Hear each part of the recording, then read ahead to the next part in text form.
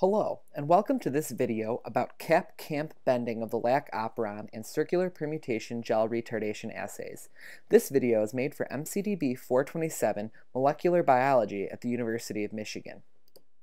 So we know that there are many different proteins that can bind to DNA. Shown here are bacterial lac operon DNA, the cap-camp complex, and RNA polymerase interacting together, all of which will be explained further in this video. Oftentimes, proteins can induce changes in transcriptional activity.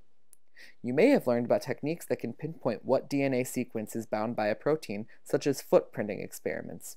But once we know where a protein binds to DNA, we need to learn more information about that protein's function. One possible mechanism of action for a DNA-binding protein is bending of DNA. So why would we care about that? Let's say, for instance, that you have a gene like the bacterial lac operon drawn here. Here you can see your gene's LAC-Z RNA coding region. Note that LAC-Z is the first in a series of lac operon genes. Immediately upstream of the coding region in the simplified cartoon is the operator, the site where the lac repressor would bind in the absence of allolactose, a lactose metabolite. For the purposes of this example, we will assume that there is allolactose to function as an inducer in the environment, which has bound the repressor, rendering it unable to bind the operator. In the next site upstream is the promoter, the sequence where RNA polymerase will begin transcription. Note that the footprint of RNA polymerase extends beyond just the promoter. Now closely upstream of the promoter, there is another cis element that can bind to another protein. When glucose, the cell's preferred energy source, is absent, the cell can produce cyclic AMP, or CAMP, represented in red here. CAMP is a transcriptional coactivator that can activate a protein called catabolite activator protein, or CAP, represented in blue, which activates transcription of the lac operon to transcribe genes required for lactose metabolism. CAP functions as a dimer.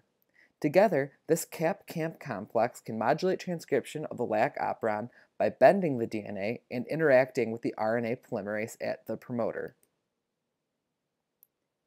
This is one way that a protein can modulate transcriptional activity. Here, the cap-camp complex can interact with RNA polymerase to facilitate transcription. Here is another cartoon that diagrams this interaction in more detail. As you can see, the cap-camp complex specifically interacts with the alpha C-terminal domain of RNA polymerase.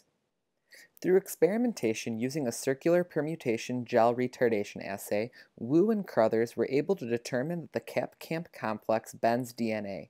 They were even able to determine that the angle of the bend is about 100 degrees.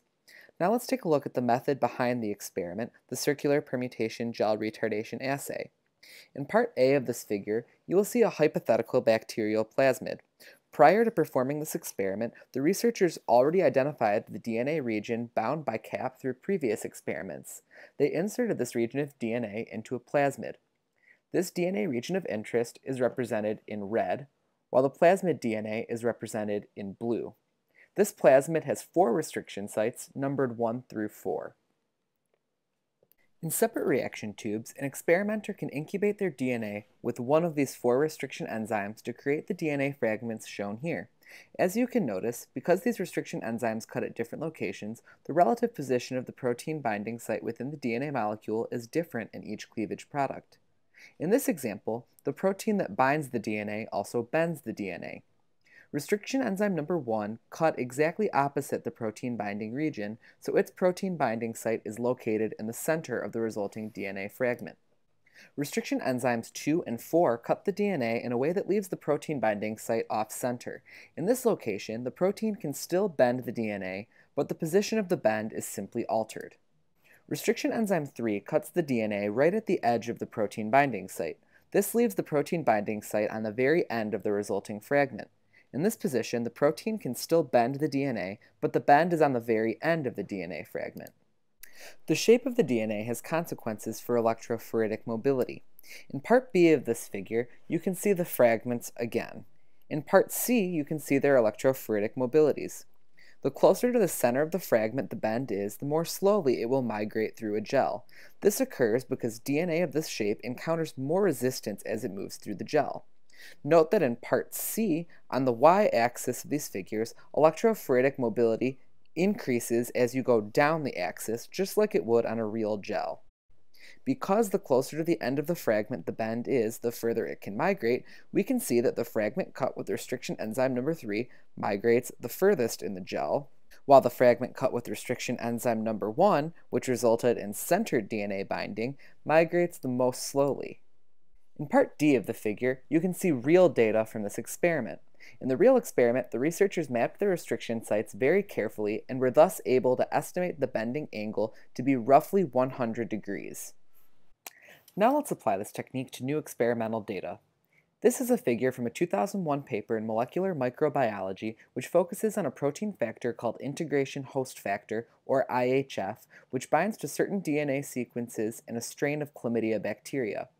Earlier in the paper, Zhong, Douglas, and Travers identified the DNA region where IHF bound using a DNA footprinting experiment.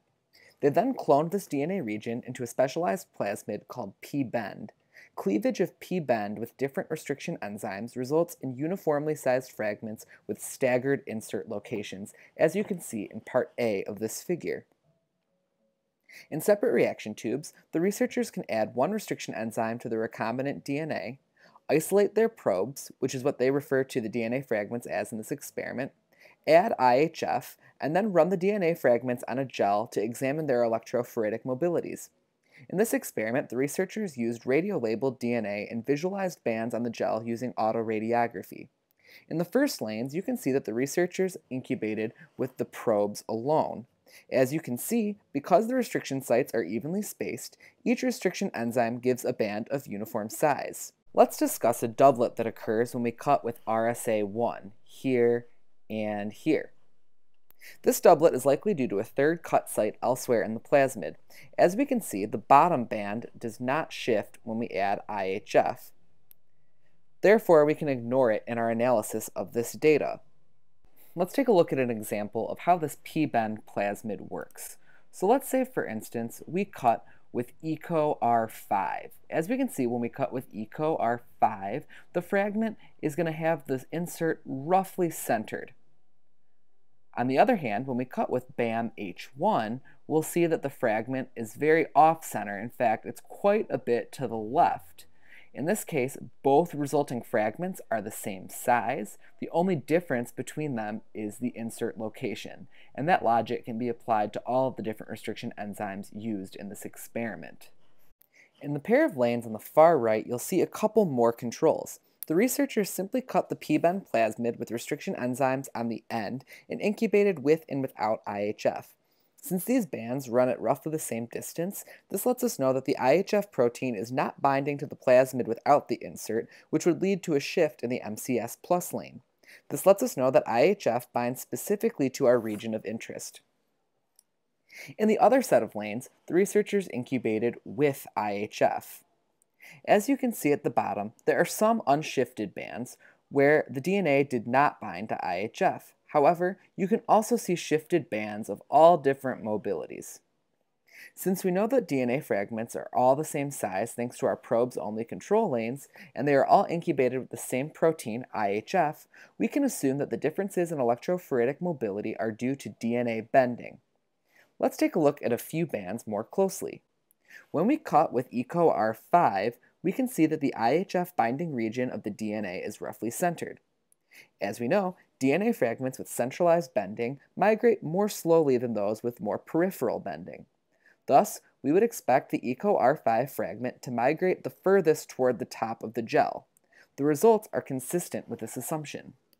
Meanwhile, if we cut with BAM H1, we can see that the IHF binding region of the DNA is almost to the end.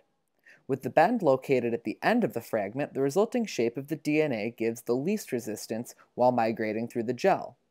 This should result in the highest electrophoretic mobility, which is consistent with the researchers' results. How do you think the mobilities of the recombinant DNA cut with STU1 and PVU2 would differ? Pause here to predict.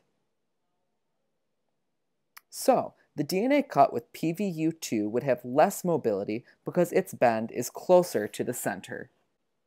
Taken together, we can make some conclusions about this data. First of all, all of the probes migrated to the same position after restriction enzyme cleavage without incubating with IHF. We know that IHF specifically binds to our region of interest because it did not bind to our MCS control bands. We also know that IHF bends the DNA at its binding site. That's why we see these differences in mobility when we cut in different locations on the p-bend plasmid. We know that IHF binds equally well to each probe because the amount of shifted band that we get in each different condition doesn't really change. So the affinity for the binding site is probably the same. We also know that IHF binding sites are not saturated in this experiment because we see some unshifted bands in each lane. Finally, if we were to plot our data carefully, we could determine the angle of this bend. I hope this video helped you understand a little bit more about circular permutation assays. Thank you for listening.